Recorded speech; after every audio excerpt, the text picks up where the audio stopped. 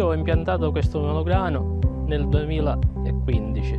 Ho voluto fare questa scelta per cambiare e fare un'innovazione. Un anno ho lasciato l'uva appesa, non l'ho voluto raccogliere perché la pagavano a 15 centesimi al chilo.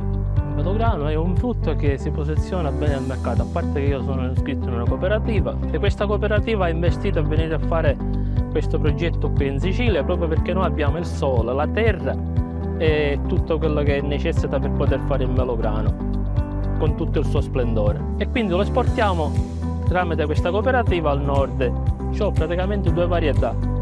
L'acqua che è una varietà che è dolce e si fa le ultime di settembre. Invece l'altra varietà che è Wonderful si fa le ultime di ottobre. È una varietà agrodolce come dicevo viene di pezzatura più grossa rispetto all'acqua che è più piccola.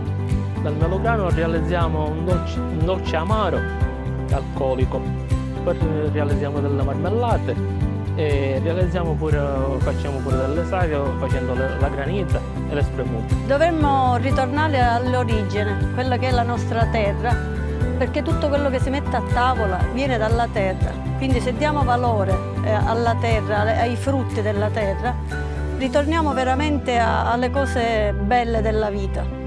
È un prodotto fatto naturale, fatto con amore. Il melograno io l'adoro proprio come frutto, è antiossidante, è antitumorale.